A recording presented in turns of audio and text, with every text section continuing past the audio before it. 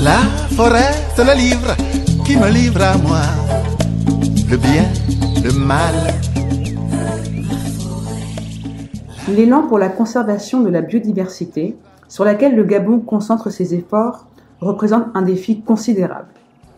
Au nombre de ces efforts, on compte la législation en vigueur relative aux espèces protégées parmi lesquelles figure l'éléphant de forêt.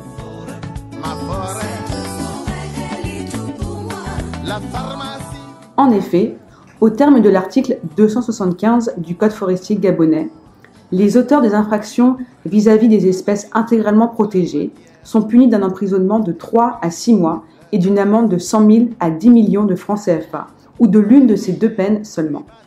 Cette législation n'est pas sans incidence sur le quotidien des populations confrontées au ravage de leur culture par les éléphants. Il est donc urgent de trouver des solutions viables au conflit qui aboutissent à un équilibre entre la protection des éléphants et la survie des populations. C'est dans cette lancée que Brain Forest, dans son esprit de conservation et de soutien aux populations, en collaboration avec Wild Aid, ONG de protection et sauvegarde de la faune, propose un répulsif organique contre les éléphants. Ce répulsif naturel et respectueux de l'environnement a été inventé par une communauté en Ouganda et développé par Wild Aid.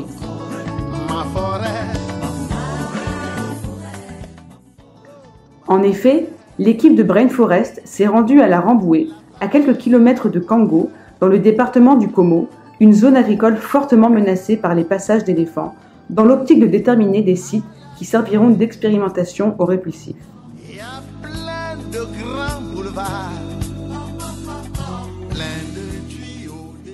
Guidée par les autochtones, l'équipe de Brain Forest a procédé à la localisation des couloirs d'entrée et de sortie d'éléphants, à la vérification de la fréquence des passages et à la délimitation de l'étendue du site sollicité.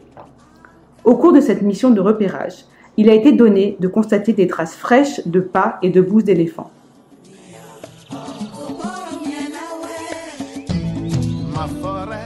Fort de ce constat, plusieurs agriculteurs choisissent d'abandonner leurs champs ainsi que leur habitat.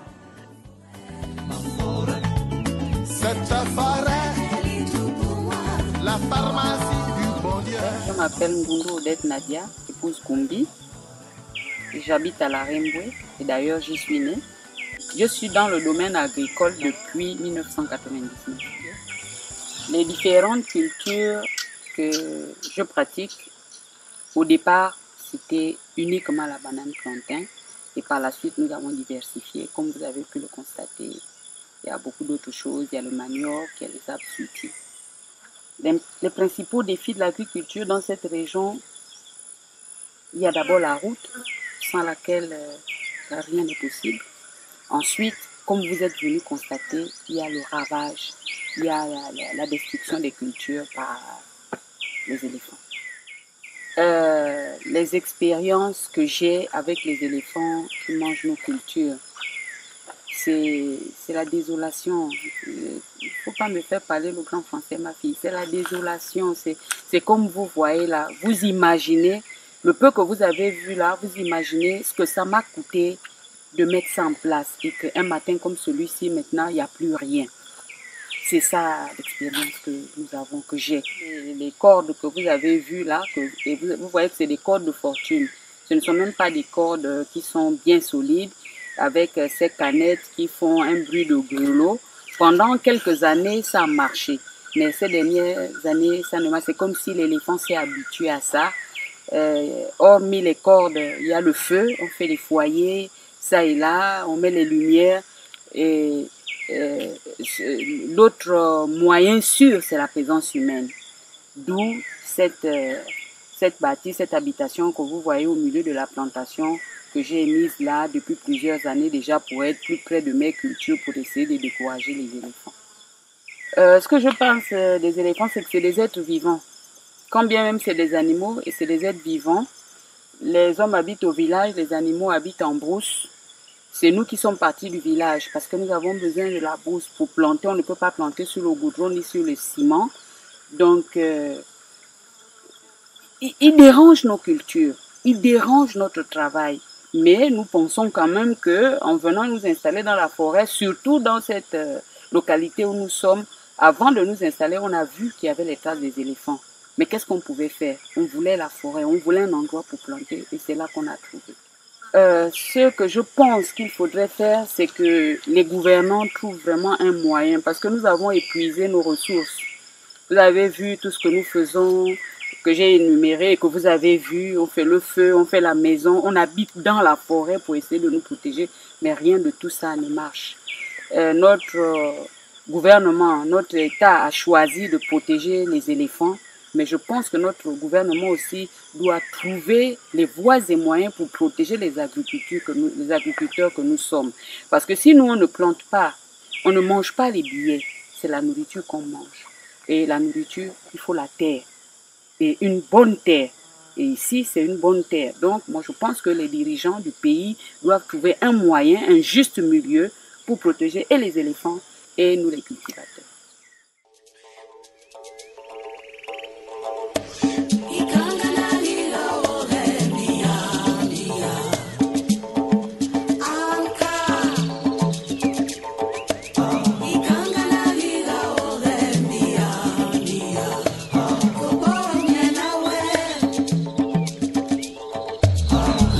Forêt, c'est le livre qui me livre à moi le bien, le mal.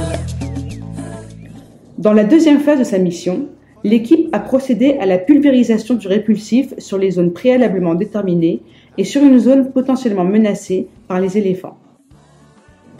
Il s'est agi de vaporiser le produit dans les couloirs d'arrivée et de sortie d'éléphants, ainsi qu'autour et à l'intérieur des champs sollicités. À l'issue de la phase 2 de la mission, nous avons eu un retour sur le ressenti des victimes quant à la pulvérisation du répulsif. Vivre près de la nature, de la matière, des fruits. Le test du répulsif a été effectué le 10 novembre 2020. Le répulsif a été appliqué au, par le moyen de, euh, pulvérisateurs il y a l'équipe qui a testé le répulsif avec des pulvérisateurs. Et comme nous avons l'habitude d'utiliser les pulvérisateurs, nous avons trouvé que c'était facile parce que le produit était déjà euh, fabriqué. Le produit était déjà fabriqué et c'est l'équipe qui a pulvérisé tout en en faisant en sorte que nous sachions, que nous voyons comment ça se passe, que nous puissions le faire plus tard à notre tour. La différence que nous avons remarqué, c'est que les jours qui ont suivi euh, l'application du produit, qui s'est fait autour et sur les, les, plantes, autour des plantations et sur les plantes, les jours qui ont suivi, les éléphants ne sont plus venus. Mais sauf que on a compté à peu près 4-5 jours il y a eu beaucoup de pluie aussi. Après l'application du produit, il y a eu la pluie. Mais les 4-5 jours après l'application du produit, nous avons constaté que les éléphants n'étaient pas revenus. Mais la semaine qui a suivi, les éléphants sont revenus avec beaucoup plus de virulence, beaucoup plus de... de... C'est comme s'ils étaient, ils avaient été énervés par euh, l'odeur de ce produit. Donc euh, la semaine qui a suivi, les éléphants sont revenus avec beaucoup plus de, de, de force. Oui, nous pensons que le répulsif est facile à utiliser parce qu'il suffit de le mettre euh, dans les pulvérisateurs et d'appliquer euh, autour et sur les plantes. Euh, le répulsif vient s'ajouter à, d'autres méthodes et d'autres moyens que nous avons utilisés jusqu'à présent qui se sont avérés inefficaces. Donc nous pensons que les éléphants qui ne connaissent pas le répulsif que euh, vraiment la réaction que nous avons vue depuis ma abord, nous, nous pensons que le répulsif va nous aider à vraiment euh, repousser les éléphants par rapport à ce que nous avons constaté sur le terrain.